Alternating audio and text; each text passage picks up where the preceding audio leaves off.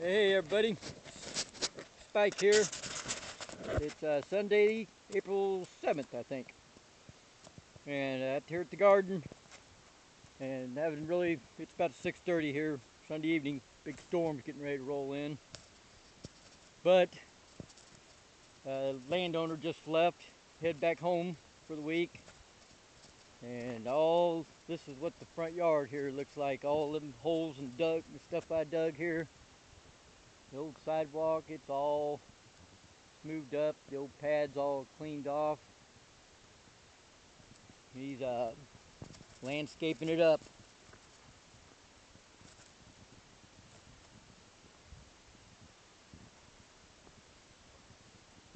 It's going to really look different here in another weekend or two. You know, I'm pretty much, you know, I don't have anything left to dig up here anymore. He doesn't, you know, of course he doesn't want me to. Now he's getting it landscaped up. He's going to get it seeded. Uh, I've been kind of following him around here, picking up a lot of broken stuff, you know, of course. And uh, he did, he's got a spot back here where he kind of just busted up the dirt for me and uh, left me quite a, quite a good area there to pick around, dig around in down yonder this pile right here, this is a pile I've been really wanting to get into. And only got a little bit into it, moving the dirt here.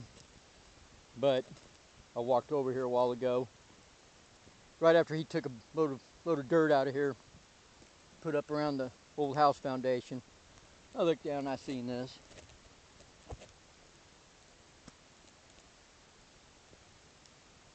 Pretty nice knife. I said I got a I got a bucket full of broken stuff, couple couple almost points. But this is the nicest thing I picked up out here. Like I said, we're getting ready to get a hell of a storm here, and I can't wait. I can't wait to put my mud boots on and get to walking out here because I'm definitely going to find some stuff. But anyways, I'm just giving you guys a little look and see what how things are changing around here.